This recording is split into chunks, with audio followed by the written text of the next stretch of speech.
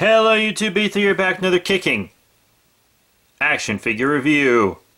Today's review is over the super dope Jul 'Mdama figure from the uh, McFarlane Halo line.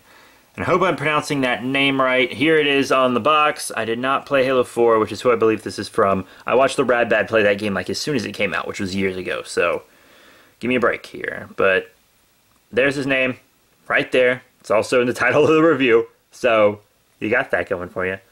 But gotta say, the prototype here looks way cooler than the actual figure. He's got lots of different paint and stuff, like the armor's a different color than the body, and it just looks like it has a lot more detail paint-wise.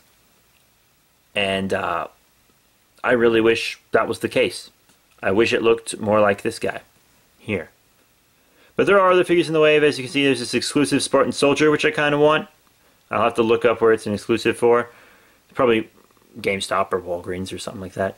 Then Spartan Thorne, who I also have. You'll see him in this review. Pretty cool. And Commander Palmer, who I'm not going to get because I have the Scout, which is the same armor. This is just the same thing, but a different color with different weapons really. And it's a specific character, I suppose. But, yeah, that's the wave right there. He's the only Covenant in it. I do, maybe I need a few more Covenants. I'd like some Prometheans also. But yeah,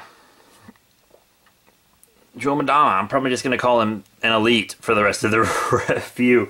I really just wanted more elites to add to my army. And the big reason I got this guy, aside from wanting other elites, is because most of the parts on him are just parts from the Elite Zealot figure, which I think is the best Elite figure of all time. It is a fantastic figure, one of my favorite Halo figures, uh, and I just, maybe he is my favorite Halo figure. I don't know, man. He's great. Like the Elite Zealot here is really great. The only parts that are different on these two guys are the necks, uh, really the entirety of the arms except maybe the armor. And I think that's it. But totally different arms and hands, different necks, maybe slight differences in the head because of how the helmets fit. Uh, we'll talk about that later. But yeah, sculpt wise, that really seems to be all that's different on these guys.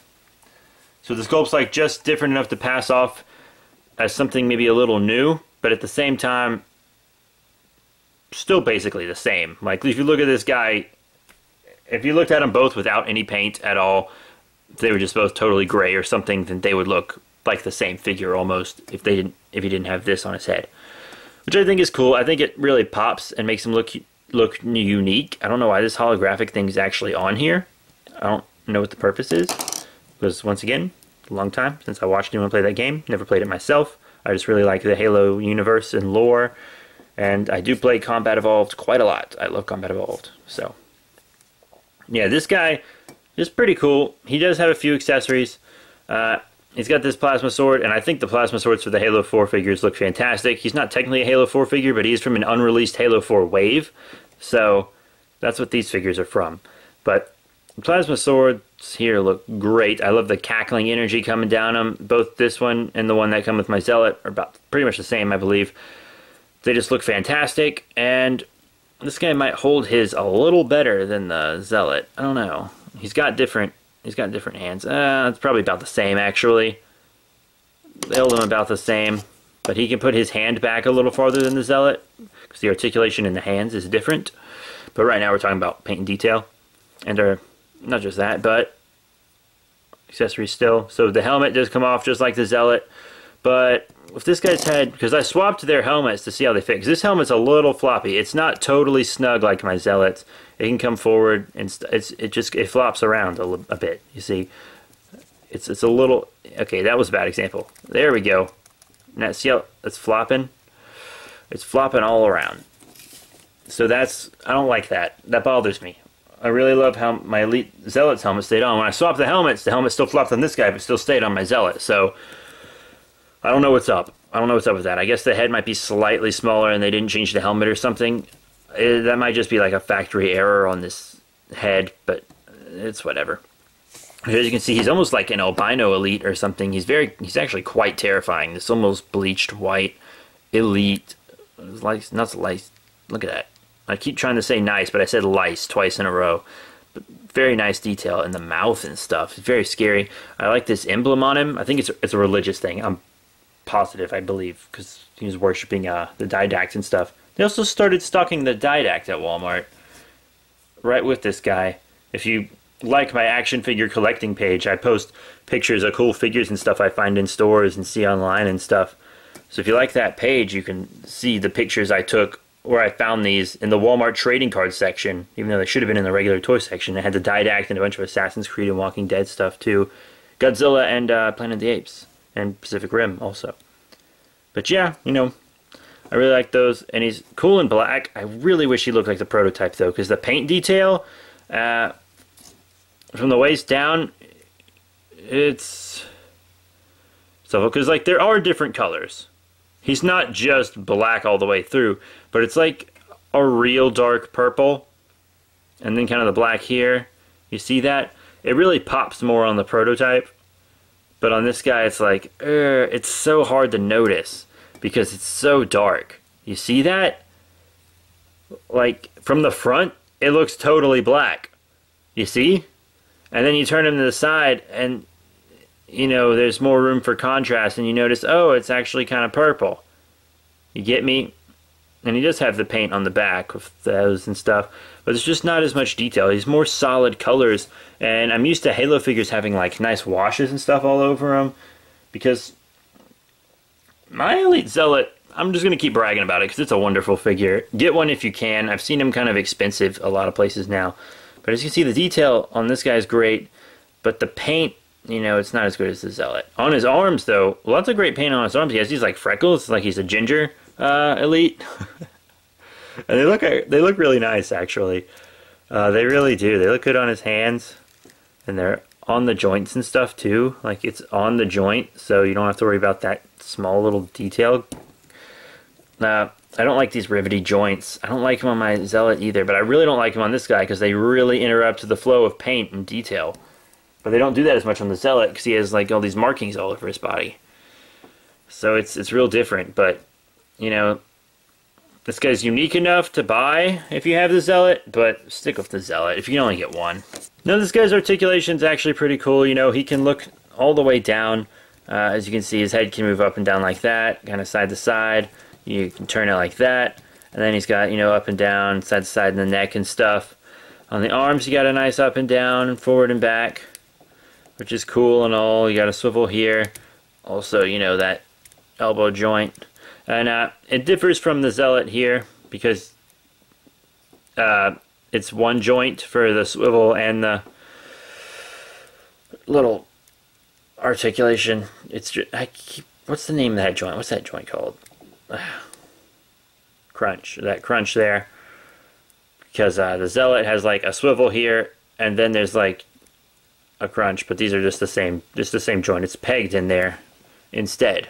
So that's cool. And then you can open and close the hands, which is good for holding the plasma sword, which he holds all right, I suppose. Uh, he's got nice movement here, up and down just a tiny bit, but mostly side to side.